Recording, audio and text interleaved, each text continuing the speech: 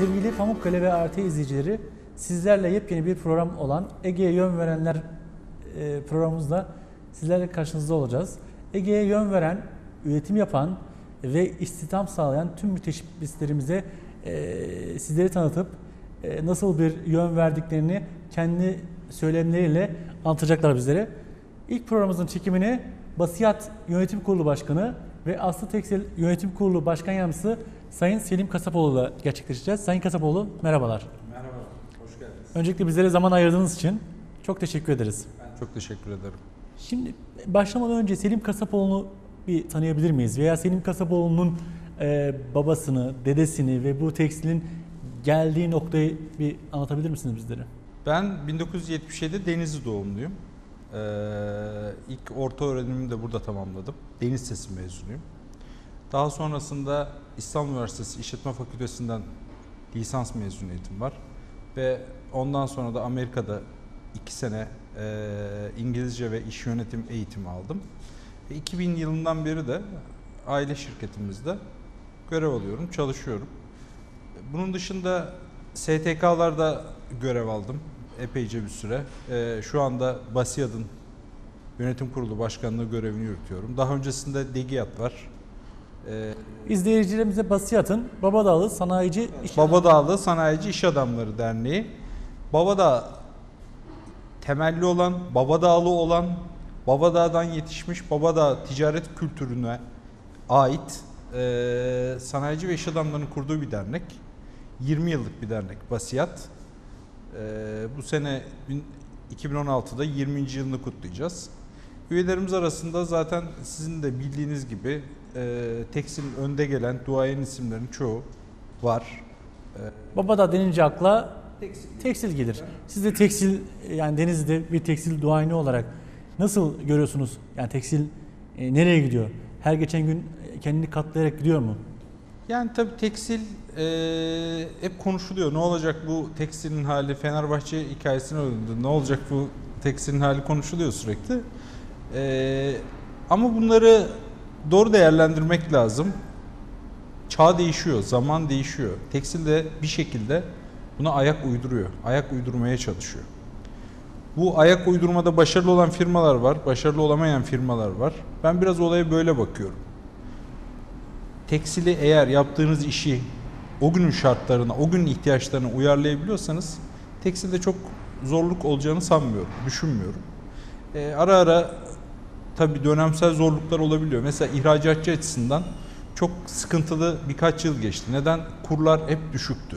Bu da ihracatçı açısından hep ihracatçıyı zorlayan, ihracat yapmayı zorlayan, fiyat tutturmayı zorlayan bir pozisyondu. Ama şimdi kurlar biraz daha yukarı çıktı, hareketlendi. İhracatçının eli biraz daha rahatladı. Tekstilci biraz daha rahatladı. Tabi bunlar dönemsel, e, kısa dönem olan değişkenler. Ama uzun vadede baktığınızda tekstil ben daha iyi gideceğine, daha iyi olacağına inanıyorum. Karamsarlığa kapılmayı çok doğru bulmuyorum. Peki Basiyat Başkanı olarak da e, Türkiye'de tekstilde neredeyiz Denizli olarak? Hem üretim hem kapasite olarak Türkiye'de kaçıncı sıradayız? Ya Denizli zaten e, bildiğiniz gibi tekstilin havlu bornoz kısmında çok kuvvetli. Yani Denizli için bir havlu başkenti diyebiliriz. Havlu şehri diyebiliriz.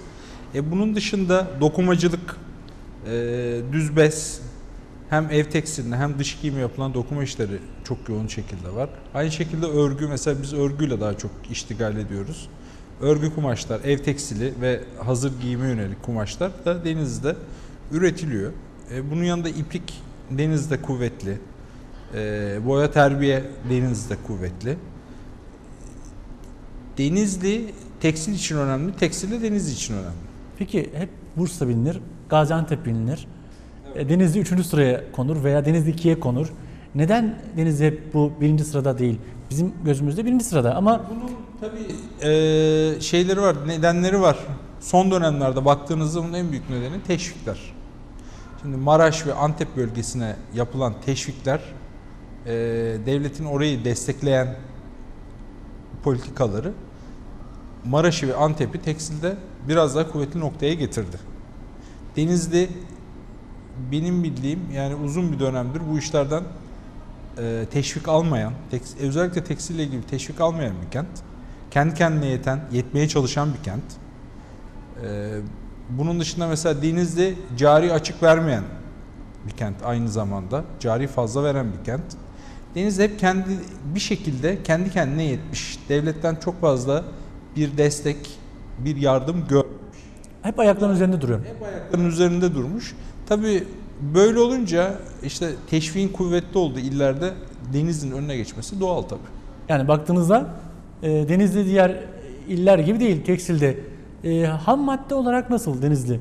Yani tekstil üretiliyor iplik olarak. Ham maddesi tekstilin iplik. Nasıl? E, gerçekten Denizli iplik üretiminde var mı?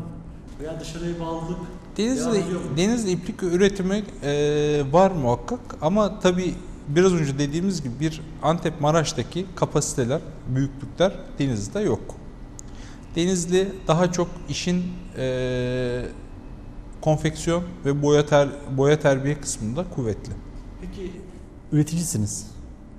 Üretmekten de çok e, zevk aldığınızı bildiğim birisiniz. E, nasıl daha da gelişir mi? Denizli Organize Sanayi Bölgesi kendine yetiyor mu?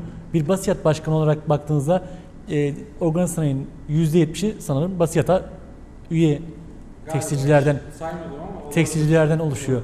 Nasıl daha da gelişir mi? Genişler mi? Gelişiyor zaten yani organizede yeni genişleme alanları da var. Organizede şu an e, baktığınızda öyle hazır istediğinize uygun yerde hemen yok. Demek ki bir talep var. E, işte buna karşılık olarak Organize Sanayi Bölge Müdürlüğü de organizenin alanını genişletiyor. E buraya da yakında talep olur. Yani deniz organize sanayide e, bir şey sıkıntısı yok. Ya- nasıl söyleyeyim yani e, Fabrika kurma gibi veya fabrika yerleştirme gibi bir sıkıntısı yok. Yer var diyorsunuz. Yer var. Hayır yer var şöyle var. Şunu söylemek istiyorum asıl. Deniz organize sanayide e, yer boşluğu yok. İstediğiniz zaman istediğiniz yerde e, deniz organize sanayide yer yapamazsınız. Çünkü bir talep var. Yerler kullanılıyor ve organize sanayi büyüyor. Bir de işe o taraftan bakmak lazım. Siz üretim olarak sanırım e, ham madde, ham e, havluyu veya ham örgü kumaşlarını alıp boyama kısmını gerçekleştiriyorsunuz kendi firmanızda Bizim ve işimiz şöyle. Biz e, üç tane şirketimizde üç tane departman var. Baskı, boya, örgü. Biz burada e, kendi örgü kumaşlarımızı iplik olarak al iplik olarak alıyoruz. Kendi örgü kumaşımızı üretiyoruz. Bunu boya, terbiye, baskı işlemlerinden getirerek e, kumaş olarak işlenmiş kumaş olarak satıyoruz. Bunun dışında işte havlu boyama, e, örgü boyama, baskı, fason işleri de yapıyoruz. peki Denizli markalaşma yolunda nerede? Yani baktığımız zaman e, yavaş yavaş markalar e, olmaya başladı. Diğer firmaların markalarıyla beraber. E, geç kalınmış değil mi Sayın Kasapoğlu markalaşmada? Yani markalaşma Deniz'de 2-3 firma var markalaşmaya e, bayağı emek harcayan, yatırım yapan.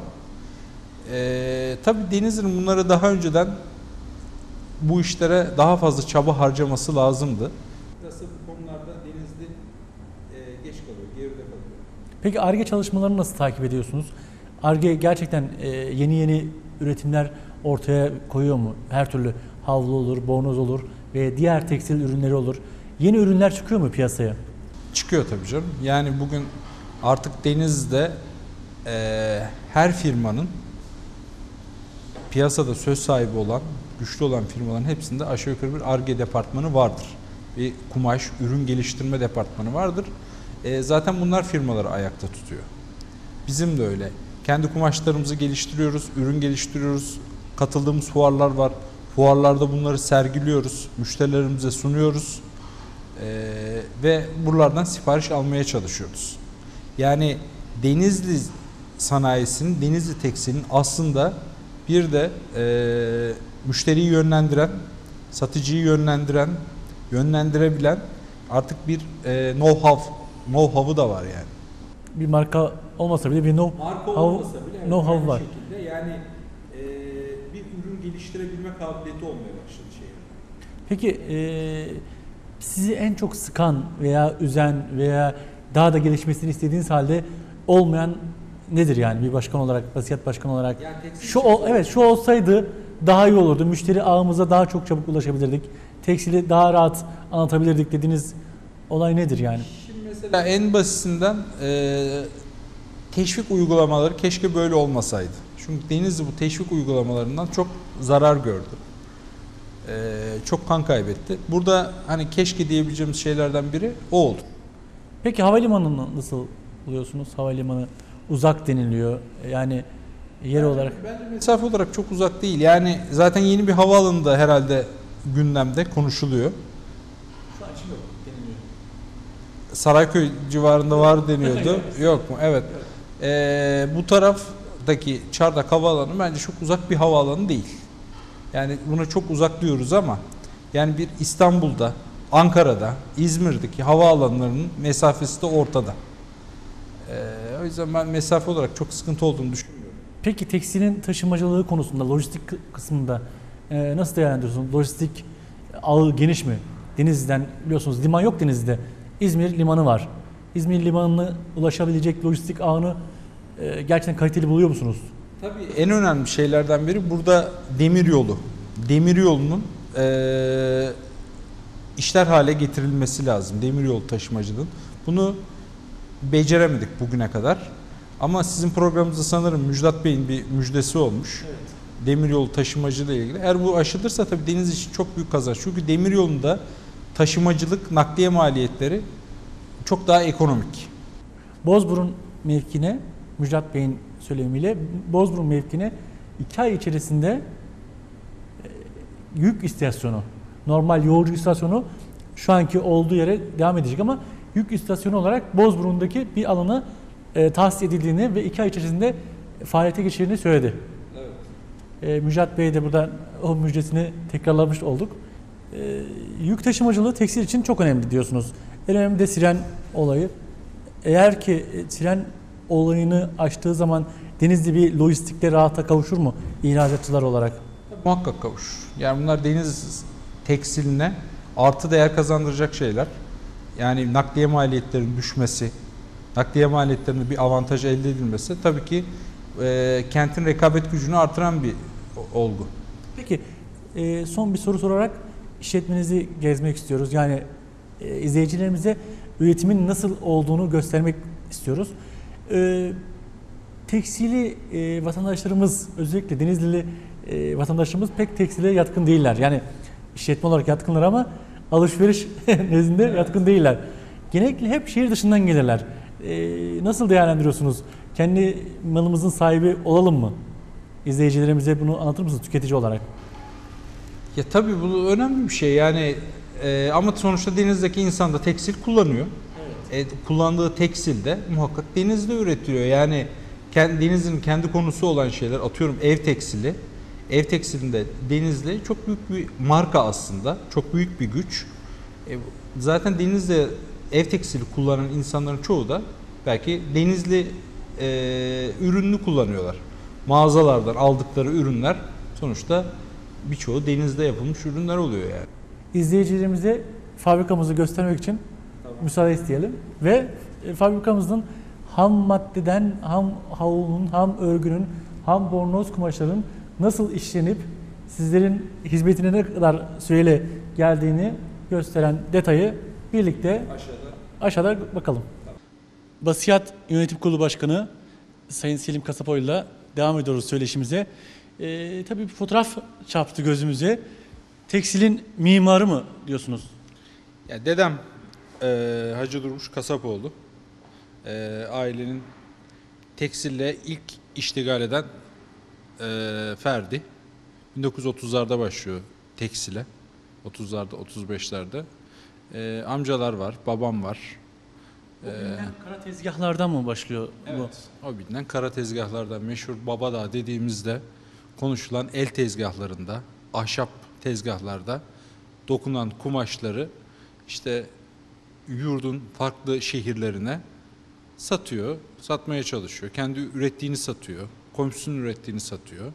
E, hikaye böyle başlıyor yani. Gelinen noktada e, şu an Deniz'in en önemli üretici firmalarından torunları devam ediyor diyorsunuz. Evet devam ediyor. Zaten bizim görevimiz de bu. Kuşakların görevi de bu olmalı. Yani bizden sonrakilere bu işleri nasıl devredebiliriz? Bu şirketleri, bu firmaları nasıl ayakta tutabiliriz? Ee, bizlerin derdi, bizim tür ailelerin derdi bu olmalı. Peki üretim yapan firmalara baktığımızda sevgili izleyicilerimiz, üretim yapan firmalara baktığımızda dede fotoğrafları, baba fotoğrafları hep ön plandadır. Sizde de dede fotoğrafı ön planda. Bunun ana kaynağı arkadan güç almak mı? E tabii o da söylenebilir yani e, sonuçta buradaki bu şirketin e, bu işin asıl kurucusu o. Bunu unutmamak lazım yani her her yerde her ailede bu iş böyledir. O zaman önce üretim yerini gezerek dedemiz nasıl bir miras bırakmış bir bakalım. Teşekkürler.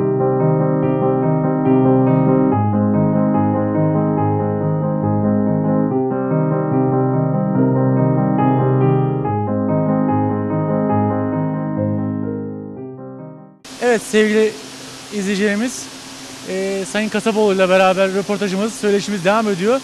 Ve üretim ana maddesi, ana kaynağı olan yerindeyiz. Burası neresi şu an? Burası örgühane. Ee, iplikhaneden gelen iplikler. Ee, burada farklı örgü sistemleri ve farklı genişler, genişlikteki makinalarda siparişin durumuna göre e, iplikler örgü kumaş haline getiriliyor. Ee, dediğim gibi farklı iplikler, fark, e, farklı iplik numaraları, e, farklı örgü sistemleriyle farklı kaliteler elde ediliyor. Ve buradan çıkan kumaş artık ham kumaş olarak değerleniyor. Ee, bundan sonraki süreçte de ham kumaş ya baskıya gidiyor ya da boyahaneye gidiyor. Burası iplik bölümü doğru mudur? Burası örgü bölümü. Örgü bölümü. Örgü bölümü. İplikler geliyor. Evet. Ee, burada örgü makinelerinde Örgü makinalarında iplikler e, örgü, örülerek örgü kumaş haline getiriliyor. Gördüğünüz gibi e, burada belli iplik sayıları var. Bu iplik sayılarında iplikler makineye giriyor ve buradaki sistemde örülerek e, dışarı çıkarıyor. her şey ayrı ayrı düşünülmüş, işleniliyor. Doğru mudur? Doğrudur.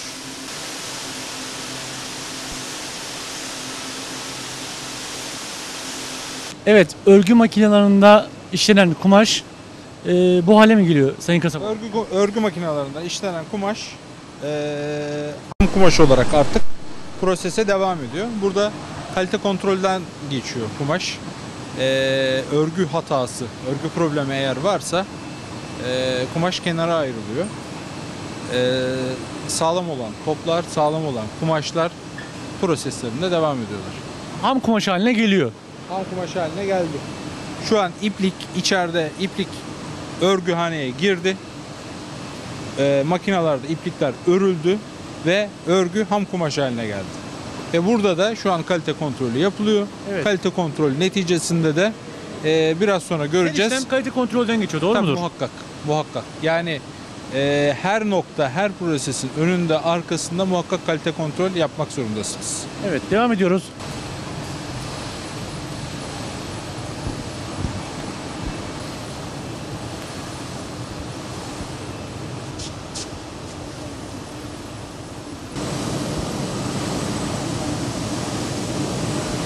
Şu anki Örgüden çıkan kumaşlar şimdi eee, baskıya geldi.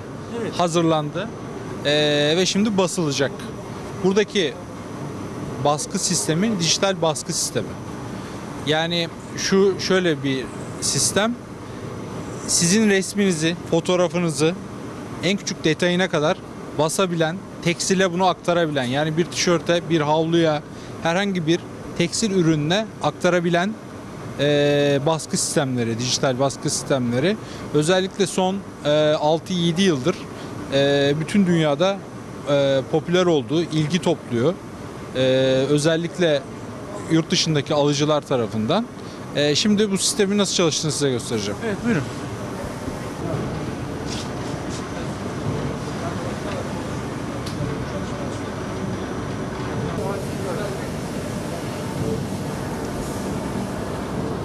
Devasal bir e, makinelerin altında duruyoruz. Bu makine ne işlemi görüyor? Burası da e, baskıdan sonra basılmış kumaşın yıkanması e, ve konfeksiyona hazır hale getirilmesi işlemlerinden biri yıkama makinesi. Derece sıcaklığından mı yıkanıyor yoksa nasıl yıkaması? Yani sonuçta e, basılmış kumaşın üzerinde boya olan kumaşın e, serbest boyaların uzaklaştırılıp kumaşın konfeksiyona giyilebilir hale gelmesi lazım. Onun artık son işlemlerini yapıyor bu makine. E, Bundan sonraki işlem sürecinde Kurutma olacak. evet E, ondan sonra da kumaş tekrar kalite kontrolden geçirip konfeksiyona sevk edilecek. her işlem ayrı bir önem taşıyor. Her işlem ayrı bir önem taşıyor Sayın Kasaboğlu doğru mu? Evet, doğrudur. Yani göründüğü gibi değil.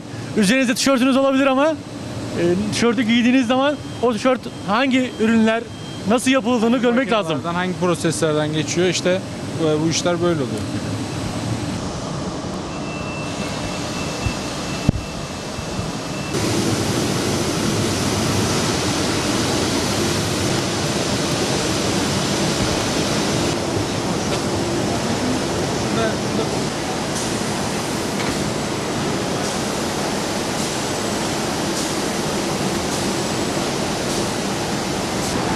Evet, e, şimdiki aşama ne aşaması? Boyamadan çıktığı kumaşlar artık kurutucuya giriyor.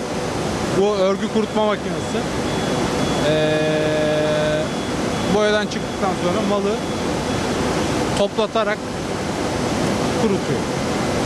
Sıcak ama burası. Sıcak. Kurutma makinesi çünkü. Makinesi.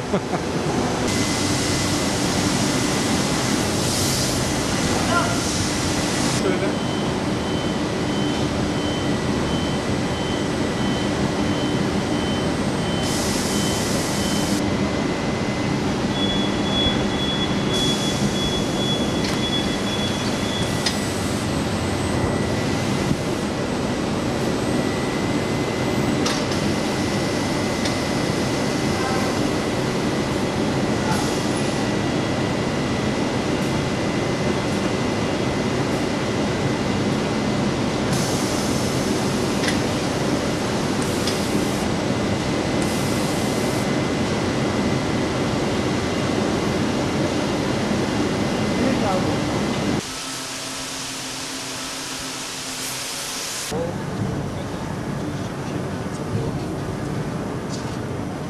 Burası son kurutma makinesi.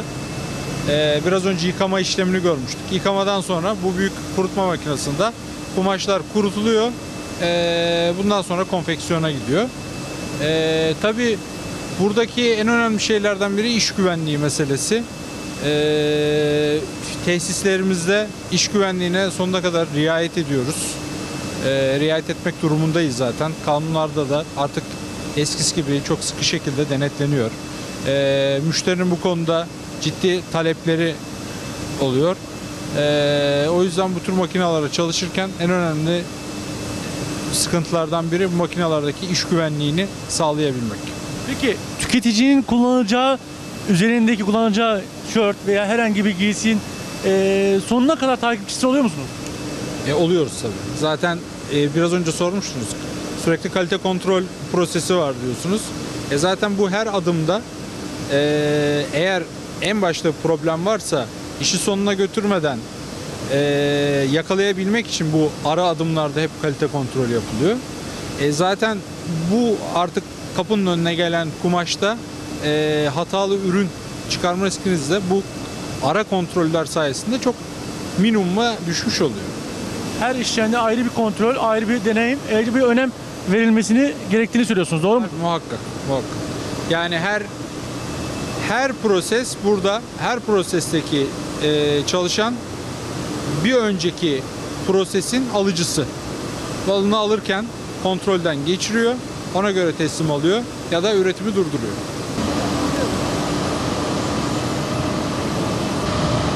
Bu makine ne işlevi görüyor şu an? Bu makine karbon fırça makinesi. Ee, bazı kumaşların üzerinde özellikle tişörtlerde bazen görürsünüz. Şeftali tüyü efekti vardır e, o efekti sağlayan bir makine. Eğer içine e, içinden çekim yapabilirseniz görürsünüz.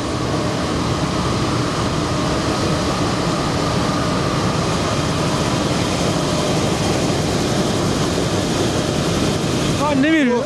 Bu, bu kumaşın üzerine fırça yaparak kumaşın e, finalde bir şeftali tüyü efekte kavuşmasını sağlıyor. Böyle ellerseniz e, fark edeceksiniz. Şu üst kısmında bir eee, şeftali tüyü, Evet, tüylü bir efekt oluşuyor. Bu efekti sağlayan makine. Fırça makinesi. He- hepsi böyle ayrı ayrı. Şimdi buradaki Bu ayrı bir proses. bu e, yani bizim üzerimizde giydiğimiz tişörtlerde mi oluyor? Tabii tabii. Çocuk tişörtlerinde, bayan tişörtlerinde, erkeklerin üzerine giydiği tişörtlerde eee, gördüğünüz bir şey. Tuşe, efekt. E, şu an burada e, fabrikanın laboratuvarı. Doğru mudur? Reçeteler reçeteler burada mı yazılıyor? Evet, laboratuvardaki reçeteleri ben yazıyorum. Ee, elektronik pipetleme makinamız var. Ee, bilgisayara reçeteleri giriyorlar. Direkt makine kendisi pipetliyor. Sonra tüpleri çıkartıp boya makinelerine konuyor. Boya makinelerinde boyama işlemi gerçekleşiyor. Sonra çıkartılıyor, yıkanıyor ve kurutmaya gidiyor. Yani burada aslında yapılan işletmede gördüğünüz boyama işleminin eee, burada numunesi yapılıyor.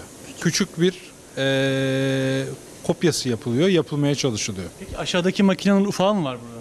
Tabii aşağıdaki makinelerin küçükleri burada var. Küçükleri burada. Ee, bunlar daha küçük kumaş parçalarında 10 gram. laboratuvarda boyanıyor ve burada okeylenen reçete aşağıya iniyor ve daha büyük partiler boyanıyor.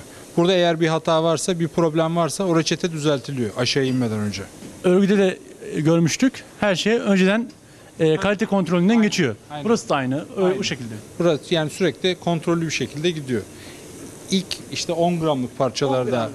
boyamayı yapıyor. Eğer bu boyamada problem varsa kendini düzeltiyor. Evet bu renge bu reçeteyle ulaşılır dedikten sonra aşağıda o reçete eee, o reçeteyle üretim başlıyor. Evet. E, peki o makineyi görme imkanımız var mı? Yani 10, gra- 10 gramlık Evet, evet. Burada bu makinelerde. Tüplerin içinde 10 gramlık tartılıp giriliyor. Ee, işletmede tabii bu biz 10 gram, işletmede tabii tonlarca boyanıyor artık. Benim verdiğim reçeteye göre işletmeye uy- uyarlanıyor o şekilde. O zaman siz bu firmanın doktorusunuz doğru mu? Biz evet öyle oluyor. Evet, önce bizden geçiyor. Doğru. Laboratuvarımızı gezmeye devam ediyoruz. Ee, Sayın Kasaboğlu siz her zaman şunu söylüyorsunuz. Ya- ya kalite, kalite kontrol bir firmanın mekanizması. Evet. Ayakta tutan mekanizması. Peki kalite kontrol yapmayan firmalar ayakta durabiliyor mu? Hayır mümkün değil. Yani zaten şu an bu yüzyılda, bu çağda eee, bu kalite kontrol proseslerini es geçen firma zaten mümkün değil yaşayamaz. Yoktur da zaten. Burası eee, reçetedeki boyaları çok milimetrik ölçülerle alan ve boyama tüplerini hazırlayan bir makine. Mili, miligramlarla suyunu hazırlıyor.